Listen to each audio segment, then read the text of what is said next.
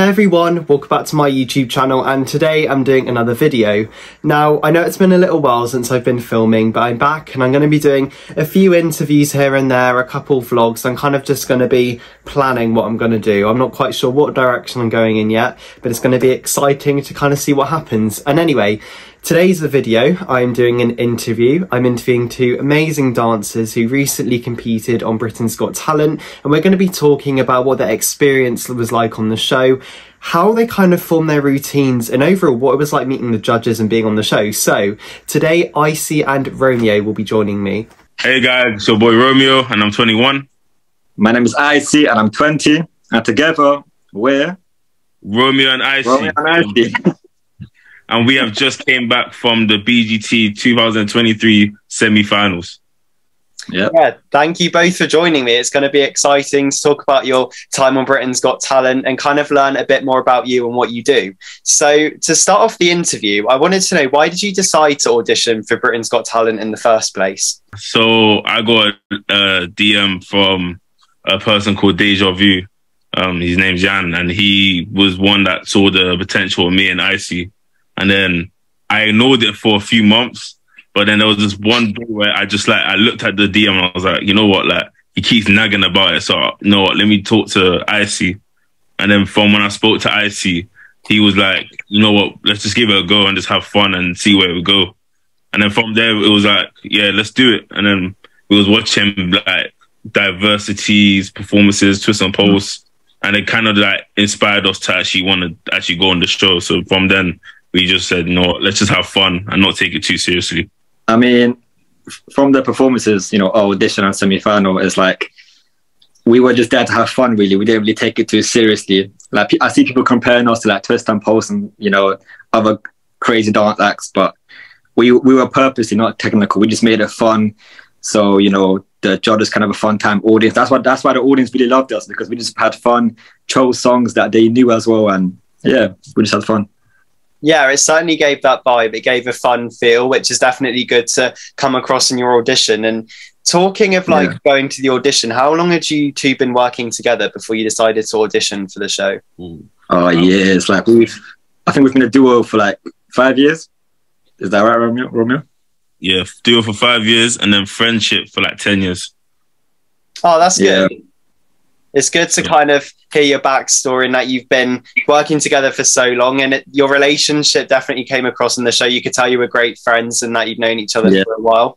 Um, so the first audition, um, well, the first TV audition, I should say, you got to perform in front of four very exciting people, the four judges who were very well known. Um, so what was it like getting to perform in front of those people? Was it scary, nerve wracking, or exciting?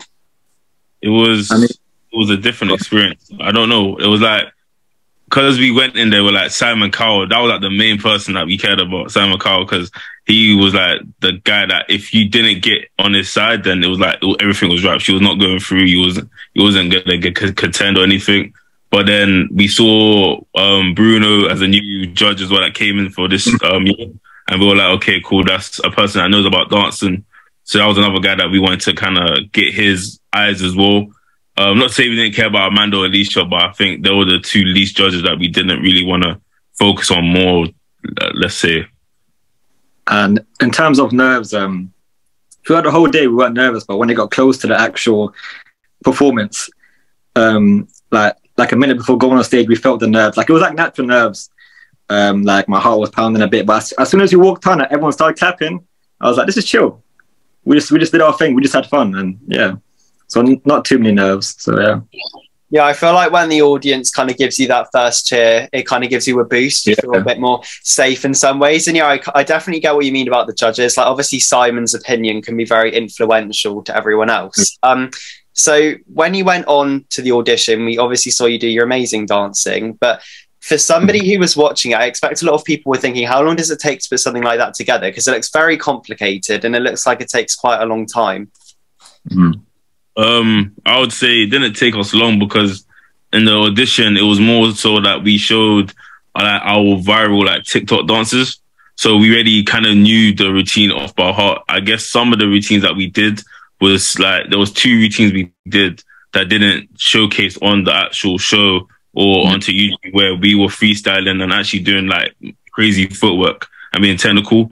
So that that was taking a while because that's what we had to get in sync.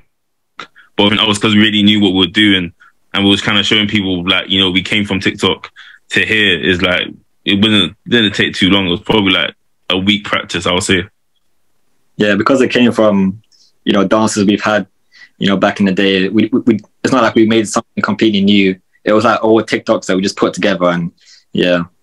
Yeah, it's good to kind of showcase the things that obviously people have seen you do online, and it was just really cool to see all the different moves you put in. You could tell that um, obviously when you first created them, they would have taken a while to put together, but it was really good to see them.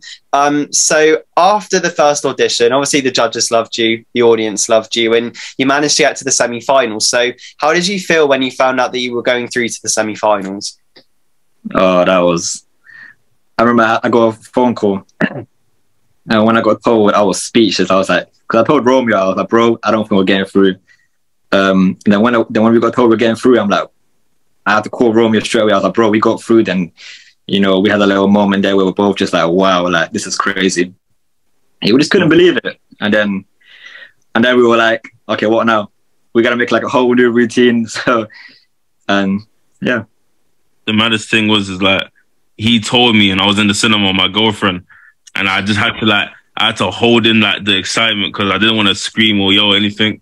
So as soon as like I got came outside the cinema, I was like asking, I was double checking, I was like, "Are you sure when it's like?" Because he said the live shows, but for me, I haven't watched Business a lot, so I thought I was like, "What do you mean the live show? Do you mean like oh, auditions going on live?" And then he was we did it to the semi. I was like, "No, bro, we didn't." And then we I had to double check with our producer, and then he was just like, "Yeah, you made it to the finals," and that's when I started like just all that excitement just got let out on the streets of where I live. So, yeah. yeah, I, I can imagine the excitement would have been massive. And, you know, the live shows are very different to the auditions. It's kind of like the auditions is the introduction in some ways to the acts, and the live shows are very like grand in some ways because you have the bigger stage, you have the set, you have the extra dancers and the singers. So, did you kind of feel that difference between the audition and the semi finals? Yeah, definitely. There was just way more production, you know, involved, and you know, we had the lights, we had like the backup dancers helping us, we had um like that the different outfits and stuff. So yeah, there was just way more to the semi-finals uh, than the auditions. And did you prefer one or one or the other? Did you prefer the audition or the semi-final? Semi-final, hundred percent. Semi semi-finals. I don't know what it was. It was like I would say low key the audition though, because the energy I felt from the crowd. Like, I'm not saying the energy from the crowd was bad in the semis, but in the audition, like you could tell, like these lot didn't know us, so they didn't they didn't really get to like understand us. Like in the same finals, everyone knew we were gonna be on the stage. Everyone knew everyone's energy is ready to be hyped up. But for audition wise, no one knew. So when we got on the stage and everyone was clapping and cheering us and even cheered us to even get through like with three yeses, um, I felt that energy. But definitely semi finals overall production wise, but crowd wise, I don't know, the audition kind of got to me. I just felt everyone's energy. I mean, if we're yeah, if we're talking about crowd, then the audition is definitely better. But dancing wise, like um, the semi final, like, like, the dance routine itself, I prefer the semi final one than the audition. Yeah. Uh, it's good that both had kind of pros and in some ways cons, but I'm sure that it was both. They're both overall fantastic. And I know this is going to be a hard question, but if you could pick like one moment from your experience on the show, what would be your favorite?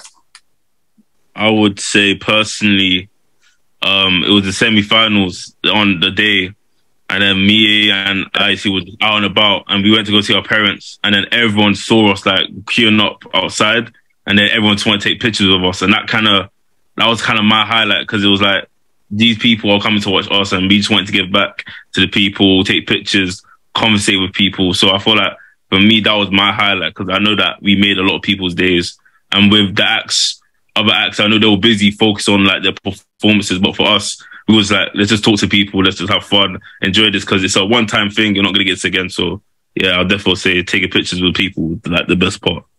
Yeah, I agree because we've had fans, we've had people take pictures of us in the past, but it was like a group of people did it. So other, so we just got crowded with like a lot of people, and they they started taking pictures too. But it wasn't because they knew us; they just did it because everyone else was doing it. On that semi final day, like they took pictures with you because they love you, you know, because they're a fan of you and they knew us. So that was like a different feeling. And yeah, I'll definitely agree. Like taking pictures with, with everyone was like the best part of the whole, the whole thing. Oh, that's good that you both kind of gave the time to the crowds because obviously, like you said, especially in the first audition, they kind of gave you that um, extra push. So yeah, it's really good to hear that. And I went and watched Britain's Got Talent last year. I couldn't go this year, which was a shame. But last year it was just nice to kind of have those few acts which came out and took photos with the crowd because it just it means a lot, I guess, both both to us and to the act themselves as well. Um, so earlier on, we were talking about your first audition, and you kind of touched on this. But did you have a favorite judge to perform in front of? Simon Cowell.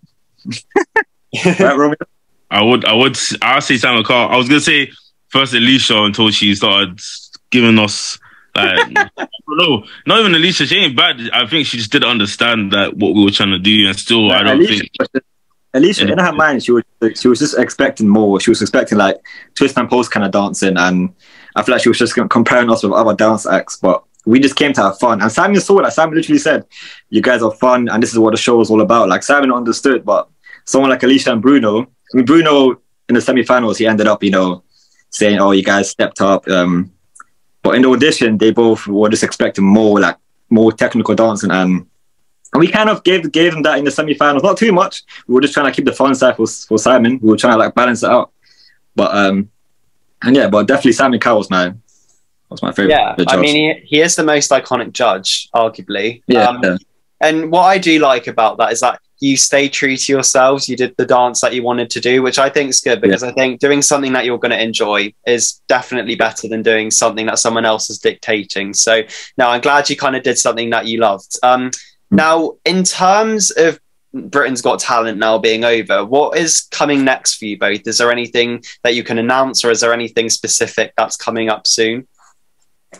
Um, it's just now working, like just doing more content now because now we've got the exposure from Britain's Got Talent. It's like there's no time to just like rest. It's time to get back into work. Um, it's now looking at trying to get us in events now to network with people, YouTube to come out very soon, vlogs. Um, we definitely want to like go into the industry of like hosting shows, making our own show possibly, but because our personality, we showed it to people and people can see we're just more than dancers. People will probably look at us into another industry and take us in. So hopefully that will be like the next moves. Yeah, I agree. Just like we're just using BGT as a boost for us, like boosting exposure, and just we're just using that to just branch out into other stuff. Never dancing, like you know, like Romeo said, YouTube and doing events, presenting maybe, yeah, stuff like that. Yeah, it's good that you've got some goals, and it's nice to kind of hear they're in different areas as well, because uh, you kind of get the best of different worlds. Um, but no, I wish you both the best for the future. I'm sure you'll do great stuff. Uh, thank you, bro. Uh, thank you so much, man. Thank you for your time as well. Oh, no, you're most welcome. It's been great chatting to you and hearing about your experience on the show. I hope everybody who watched this interview also found out a bit more about you both and enjoyed it as well. So I'll see you all very soon for another video. Bye, guys. See you,